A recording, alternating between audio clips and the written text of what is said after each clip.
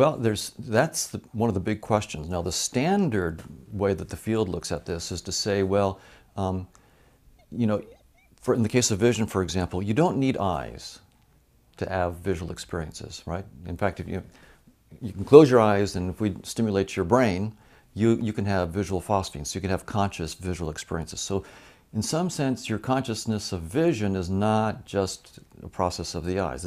And they would then say that that's evidence that it's the brain that's causing your conscious experiences. And so what we do have, and what the field is really good at right now, are literally dozens, perhaps even hundreds now, of well-defined neural correlates of consciousness.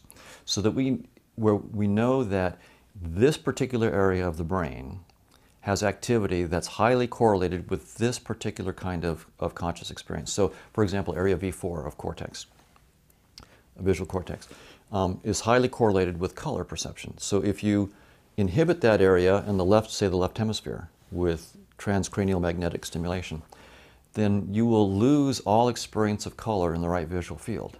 You will still experience color in the left visual field. So here's a case where we can just put a magnet, just touch it to your skull, and your conscious experiences changes dramatically, and we know where to touch it and what experience you will have. So there's clear correlation between the conscious visual experience that you're having and the changes in it and the cortical activity that you're, in this case, inhibiting. And if you do it on the right hemisphere uh, side, then you lose visual, you know, color in the left visual world. And the same is true for motion. So there's an area in lateral temporal area that does motion. So if you in inhibit that with magnetic fields, you'll lose the ability to see motion in the right visual field. Everything is like a stroboscope. See a person there, there, but you don't see the motion in between. Fortunately, when you take the magnet away, the motion comes back and the color comes back. So we have all these correlates, but the question then, the deeper question is, does the correlation imply causation? Is it the case that all these very strong correlations, and they're there, um, imply that the brain is causing the conscious experiences. Now, most people in the field think, yes, it's a slam dunk. It's, the evidence is quite clear. But the problem we have is that no one has been able to give not only a scientific theory, but even any remotely plausible idea about how that could be.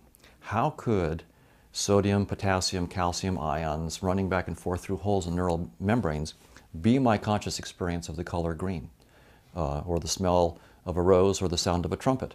The, there, are, there are a lot of so-called theories out there, and there's, you know, they'll have all these interesting neural mechanisms like reentrant thalamocortical loops, um, collapse of, of states of microtubules and so forth. But then when you say, where does the consciousness comes in, and they try to say, here comes consciousness, there's always a gap right there there's a miracle that occurs between the reentrant thalamocortical loops and the appearance of consciousness.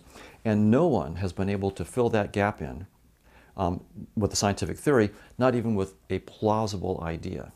So the idea that the brain causes our conscious experiences is widespread. Most people in cognitive neuroscience would say, of course, um, but the embarrassing fact is we don't have a single scientific theory and no plausible ideas.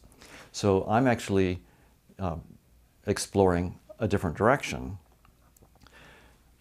you could think of it as a search strategy. We're, we're trying to find the solution to this problem. How, how is consciousness related to brain activity? 99% of the researchers are searching in one part of the search space, namely how, does, how could the brain cause consciousness? And we're not getting anywhere.